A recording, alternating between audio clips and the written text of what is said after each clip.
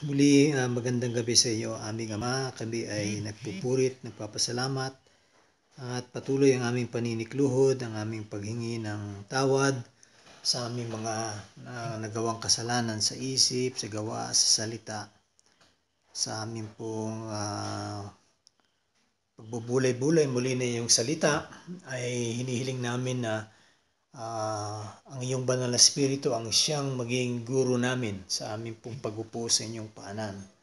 At ikaw ang siyang uh, maluwalhati. So purihin ka o Diyos, ito ang aming samot dalangin sa pangalan ni Jesus. So tayo ay uh, magpapatuloy sa ating inaaral sa Book of Ephesians. Uh, two verses po ulit tayo ngayon, ang verses 5 to 6. So, umpisahan ko na sa verse 3 para makuha rin natin yung uh, at least uh, context. Praise be to the God and Father of our Lord Jesus Christ, who has blessed us in the heavenly realms with every spiritual blessing in Christ. For he chose us in him before the creation of the world to be holy and blameless in his sight. In love he predestined us for adoption to sonship through Jesus Christ in accordance with his pleasure and will, to the praise of his glorious grace which he has freely given us in the one he loves. Yan. So dito uh, sa ating pong uh, uh, pag-aaralan ay nasa verse 5 at 6 po. So we will be talking more on uh, what it means to be adopted. Okay? Uh, in the family of God. So God has adopted us to sonship through Jesus Christ. So makikita natin dito yung plano mismo ng Diyos. At ang plano nga niya ay ampunin tayo para tayo ay maging kanyang mga tunay na anak. So we become now sons and daughters uh, in the family of God.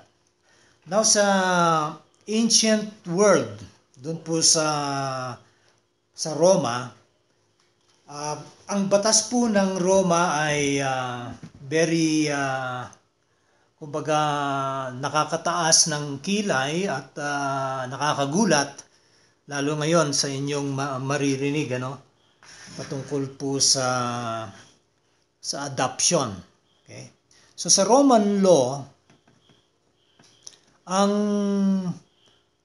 binibigyan ng uh, kumbaga ng halaga ay yung kapangyarihan ng ama sa pamilya.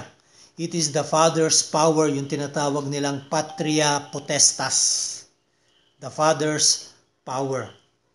So, yung pamilya, nakatuon yan dun sa ama. Okay, so lahat yan, ang nanay, ang mga anak, ay kailangan magpasakop dun sa ama.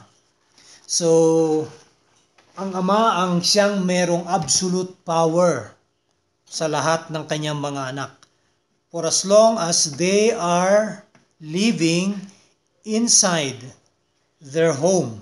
Okay? At doon pa rin sila umuwi sa tahanang yon. Okay, bakit ko nasabi yon? Kasi mamaya ipapaliwanag ko naman yung adoption. So ang ama ay pwede niyang ibenta ang kanyang anak as a slave. Okay? Pwede niyang uh, kumbaga sabihin, oh ito yung anak ko. Sino may gusto sa kanya para gawin siyang alipin? Ayan. At ang pinakamatindi pa, ay pwede niyang patayin ang kanyang anak. Okay? Yan ang batas. Okay? Pero mayroon namang kadahilanan bakit niya papatayin. Okay? So sabi ni Dion Cassius, The law of the Romans gives a father absolute authority over his son, and that for the son's whole life. Okay? So it gives him authority if he so chooses to imprison him, okay, ikukulong siya, to scourge him, okay, lalatiguhin siya, to make him work on his estate, as a slave in fetters, meaning to say, gagawin siyang parang isang alipin doon sa kanyang uh, kina, uh, kina uh, yung kanyang hacienda, for example, kanyang lupain, okay? and even to kill him. Yan ang nakakataas ng kilay, di po ba? At yung right na yan ay nagpapatuloy hanggang sa kahit na tumanda pa yung anak niya. At uh, kung sakasakali ay siya ay isang aktibo na na parte ng isang political affairs. So halimbawa, naging ano siya, senador o naging congressman. Okay? Siya pa rin ay magpapasakop sa kanyang ama. Okay? At kahit pa sabihin mong siya ay inilagay na bilang isang uh, worthy judge, for example, isang magistrate office na nagbibigay ng kumbaga ng uh, ano ang tama o mali. Okay? Kahit pa siya ay nirerespeto ng lahat ng mga tao, siya pa rin ay under sa kanyang ama.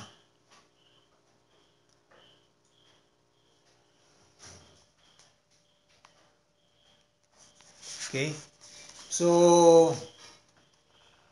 merong mga actual instances na ang ama ay kanyang kinondena ang kanyang anak para mamatay. Gaya po ito si itong sabi ni ano, Salust tells how Aulus Fulvius joined the rebel Catiline.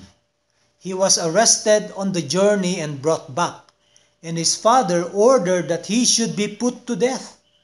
The father did this on his own private authority, giving as his reason that he had begotten him, not for Catiline against his country, but for his country against Catiline. So nakikita niyo yung kapangyarihan ng ama.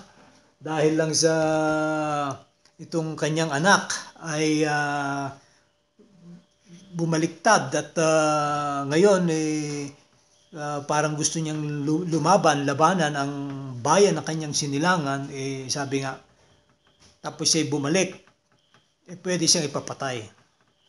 So under Roman law, a child could not possess anything, and any inheritance willed to him. So yung mga pati yung mga kung uh, tawag nito yung may mga testamento na uh, sa kanya mapupunta yung estate ng kanyang ama, hindi pa mapupunta sa kanya dahil buhay pa ang kanyang ama. O kahit anumang regalo na binigay sa kanya ng ibang mga tao, yung regalong yan ay pagmamayari ng kanyang ama. Pero mo yan? Yung mismong niregalo sa kanya ng ibang tao, hindi ng kanyang ama, ay mapapabilang sa mga ari-arian ng kanyang ama. Okay? So it did not matter how old the son was or to what honors and responsibility he had risen. He was absolutely in his father's power. Okay? Kaya't uh, makikita natin yung adoption was a very serious step sa panahon nila. It was, however, not uncommon for children were often adopted to ensure that some family should not become extinct. So, normal lang naman yung adoption sa kanila pero yung uh, meaning ng adoption na yan ay may kahulugan yan. Okay? dahil nga may mga pamilya na walang anak at da, uh, kailangan nila mag-adapt and so sa mga taga Roma okay the Romans they would uh, allow their children to be adopted by other families para nang sa ganon hindi mag-extinct ang mga Romano kaya the ritual of adoption must have been very impressive It was carried out by a symbolic sale in which copper and scales were used. So may bayaran yan ng ang ginagamit ay yung timbangan at saka yung mga copper coins.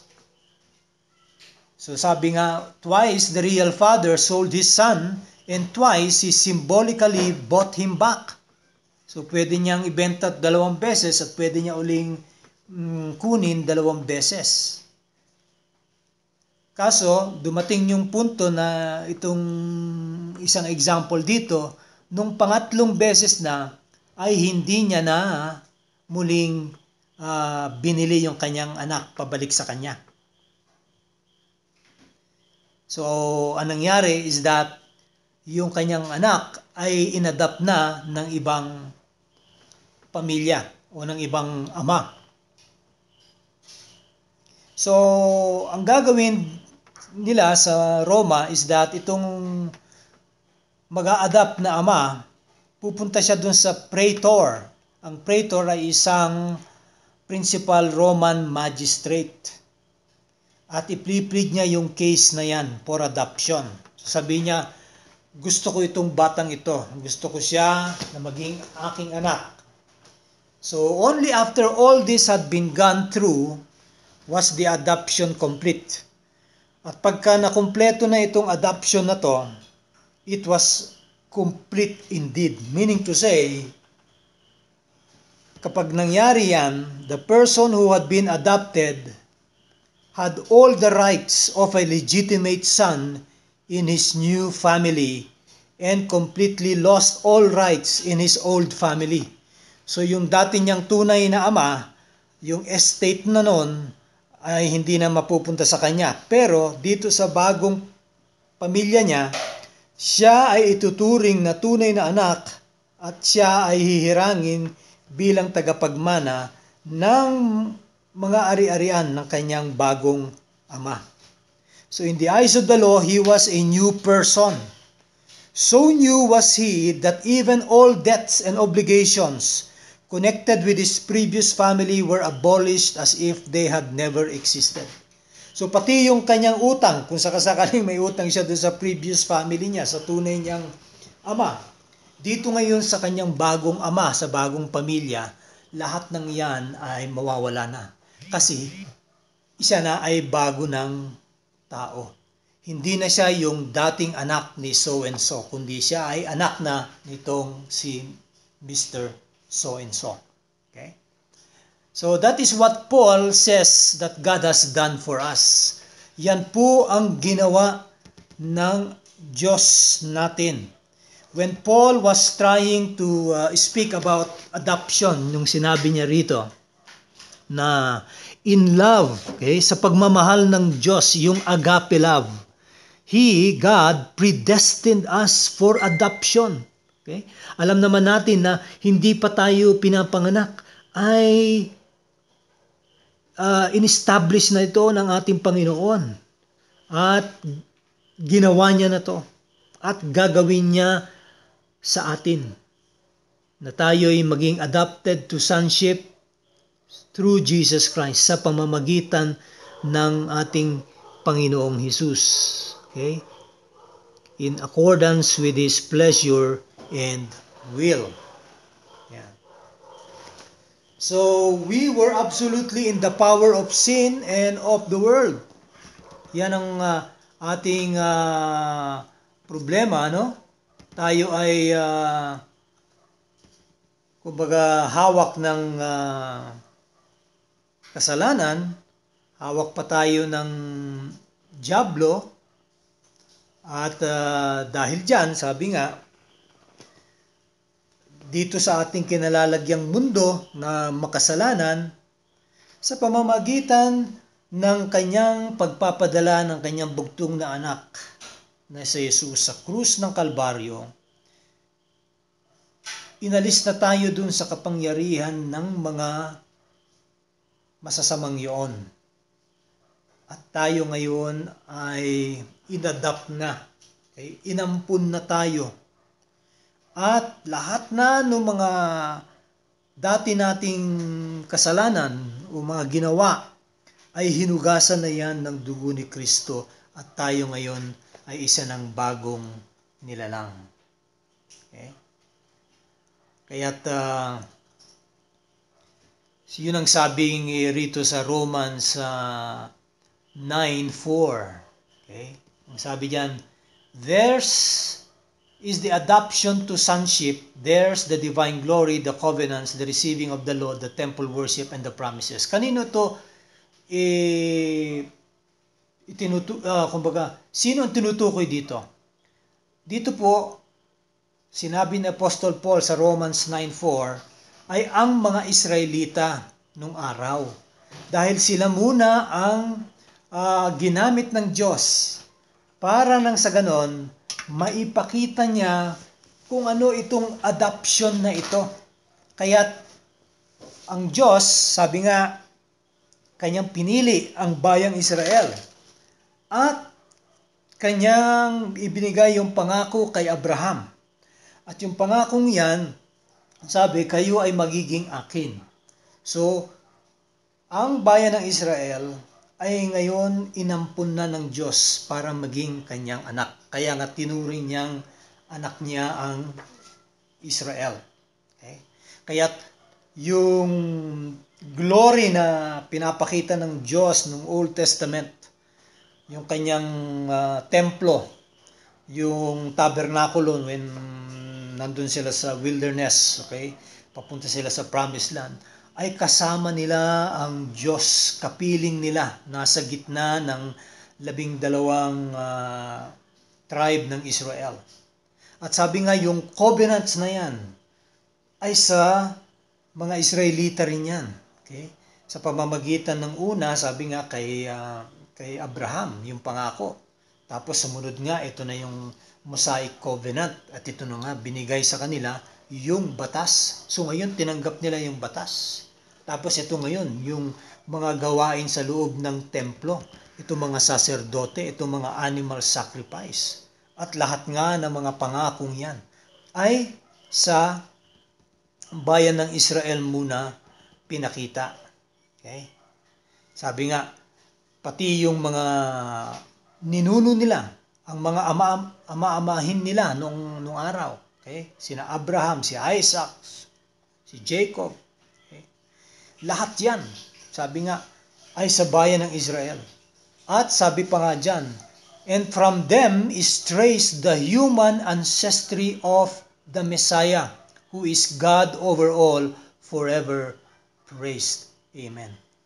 So here, pinapakita muna ni Apostol Pablo sa Romans 9.4 okay, hanggang 5, na ang bayan ng Israel, ang unang pinili ng Diyos, para nang sa ganun, maipakita niya ang kanyang pagmamahal sa sangkatauhan. Pero ang problema, hindi nga sumunod ang mga Israelita. Kaya etong pagiging anak ay kumbaga nawala sa kanila. Bagkus, sabi nga, may darating na tunay kong anak. At yan ay walang iba kundi ang kanyang bugtong na anak na si Jesus. At yung anak kong yan, siya ang gagawa ng lahat. Siya ang tutupad sa batas. Siya ang tutupad sa mga sinasabi sa lumang tipan. Siya lahat ang fulfillment ng mga yan na hindi natupad na sunod ng bayan ng Israel. Kaya si Jesus ang tunay na Israel. At dito sa bandang uh, verse 5 ng Romans chapter 9, nasabi nga na yung, yung human ancestry ng Messiah ay sa kanila, meaning to say sa bayan ng Israel, who is God over all, forever praised. Ngayon, tayo bilang mga hintil, tayo na hindi mga Hudyo, ay dito tayo dumidikit para tayo ngayon ay ma-adapt ng Diyos. Tayo ngayon ay para maampon ng Diyos sa pamamagitan lang ng Mesaya ni Heso Kristo. Hindi na natin kinailangan pang uh, mag-alay ng hayop, hindi na natin kailangan pang pumasok ng templo, hindi na natin pa kailangang uh, kumbaga sumunod sa lahat ng mga kautusan ng batas ni Moises. Bagkus tayo ngayon ay nagpapasakop lang kay Kristo. Kaya tayo ngayon ay inampun na ng ating Panginoon Diyos. Who is God over all forever praise. Itong mesayang ito ay Diyos na dapat lang sambahin. Kaya nga't sa Romans 8.15, naaral din natin ito, The Spirit you receive does not make you slaves so that you live in fear again. Rather, the Spirit you receive brought about your adoption to sonship and by Him we cry, Abba Father. So, ang trabaho ngayon ng pangatlong persona ng Trinidad, ang Holy Spirit, okay, ang banal na Spirito, siya ngayon ang siyang uh, magagaranti sa atin para nang sa ganun, tayo ay ampunin ng Diyos. See, nakita niyo po ba yung kagandahan ng ginawa ng Diyos. Ang Diyos lahat ang gumawa nito. Wala tayong idinagdag dito. Wala tayong uh, parte sa ating pagkahirang, sa ating pagkaampon sa pamilya ng Diyos. Lahat ito ay gawa ng ating Diyos sa pamamagitan ni Kristo Jesus. In accordance to His pleasure and will. Yan ang kaloob ng Diyos. Yan ang sinasabi niya. Kaya nga, sabi sa Romans 8.23, Not only so, but we ourselves who have the first fruits of the Spirit grown inwardly as we wait eagerly for our adoption to sonship, the redemption of our bodies. So dito naman sa Romans 8.23, sinasabi na hindi pa ganap itong ating pagkaampon. Yes, we can already uh, believe and uh, kumbaga accept that we are already adopted, pero lahat ng yan ay hindi pa buo. Mangyayari pa ang lahat ng yan. Okay? Though we are already adopted, pero yung culmination niyan ay doon sa pagbabalik ng ating Panginoon sa kanyang pangalawang pagbabalik. Pagka in-establish niya ng kanyang kaharian, ang bagong langit at lupa. Kaya nga sabi rito, tayo na meron yung first fruits. Okay? Ano yung first fruits? Love, joy, peace, uh, long suffering, uh, gentleness, grace, and faith. Tayo na meron yan, sabi nga, we grown inwardly. Meaning to say, tayo sa panahon natin ngayon at sa panahon din nila Apostol Pablo ay talagang nag-aasam na sana dumating na ang pagbabalik ng Panginoon. Kaya't nandun pa rin yung ating pag-grown sa, sa kalooban natin na lalo ngayon na nasa pandemic tayo, maraming tao ang uh, nababahala. Pero tayo, we are groaning na, Lord, dumating ka na para, Lord, mabago na to, mawala na tong COVID-19 na to, mawala na ang mga problema, mga iyakan, mga hinagpis, mga sakit, mga kamatayan, bagkus kami ngayon ay makakapiling mo na. Kaya sabi dyan, we eagerly await for our adoption to sonship meron na yung tayo'y anak na niya, pero meron din yung future na we will be adopted to sonship, the redemption of our bodies. Ibig sabihin, tayo na niligtas na ng dugo ni Kristo, we have been redeemed, pero wala pa tayong glorified body. Ang tinutukoy dito sa Romans 8.23 is yung ating katawan na magkakaroon na ng panibagong katawan. At yan ang tinatawag na glorified body na makakapiling na natin ang ating Panginoon magpasawalang hanggan. At yun ang uh, masaya at masarap sa buhay kristyano. Kaya sabi nga, uh, kung tayo man ay dumadaan sa mga matitinding pagsubok ngayon, mga problema, or minsan tayo nadidismaya at tayo ay uh, laging kumbaga palpak, laging kapos, laging kulang, eh wag ka. Ang importante is that ang dugo ni Kristo ay dumanak na. Dalawang libong taon ang nakakaraan. At isa ka sa, sa mga pinili niya. Isa ka sa mga magiging heir ng kanyang kaharian and co-heirs with Christ. Okay? Tayo na tagapagmana ng kanyang kaharian. Kaya uh, anuman yung mga na, nagaganap ngayon. Eh, sa dami po ng mga businesses na magsasara, kahit pa yung mga kilalang mga businesses. Dahil sabi nila, luging-lugi na kami. Talagang makikita natin dito, may tinuturo ang Diyos. May pinapakita ang Diyos sa mga tao. Unless na hindi, hindi nyo ako makilala, hindi nyo ako matanggap sa inyong buhay, ganyan ang magiging buhay nyo. lagi na lang kayong mangangapa sa dilim. Lagi na lang kayong uh, kapos, lagi na lang kayong uh, uh, talunan. Pero ang mga anak ng Diyos, sila nakatuon sa akin at nakatuon sa kinabukasan at dahil dito sila yung makakapiling ko at makakasama ko bilang mga anak mga anak ko na aking ngayong inampon at tinuring kong mga tunay na anak. For us to even be called children of God. Hindi na nga tayo tinawag na slaves but children of God. Kaya nakaka uh, kumbaga dapat ang ang lumabas sa atin, it should exude praise from God's people na mapapuri tayo sa Kanya, mag, magpasalamat tayo sapagkat talagang hindi na tayo dadaan doon sa sa dadaanan ng maraming tao at ito is yung judgment. Tayo ngayon, sabi nga makakatawag na sa Kanya ng Abba Father at tayo lang ang pwede makatawag ng Ama, Daddy, Tatay sa ating Ama sa langit. Kasi karapatan natin bilang mga anak yon. Kaya kung gusto mo, kung ikay nakikinig ngayon at hindi mo pa kilala ang Panginoon, hmm, kung gusto mo maging anak niya, ay lumapit ka sa Kanya, magpakumbaba ka, aminin mo na ikay makasalanan hindi mo kayang iligtas ang iyong sarili, at ngayon, tinatanggap mo ang kanyang alok na kaligtasan na nagmumula sa ginawang sakripisyo ni Jesus sa krus ng Kalbaryo. At kung ito ma taimtim na, inyo, na ipapanalangin mo at naintindihan mo, ito po yung sinasabi kong ibanghelyo ng Panginoon. Ito po yung makapagliligtas lang sa mga kaluluwa.